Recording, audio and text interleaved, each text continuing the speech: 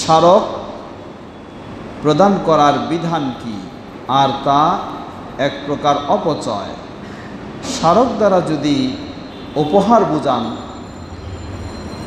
তাহলে আমরা বলব যে উপহার শরীয়তে দেওয়া জায়েজ রয়েছে।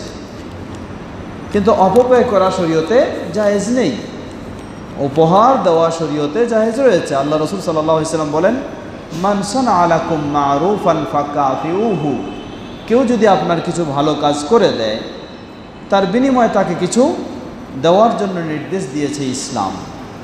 তো এই ধরনের উপহার হতে পারে এটা অনেক সময় কারও মঙ্গলজনক কাজের অবদানের একটা বিনিময়।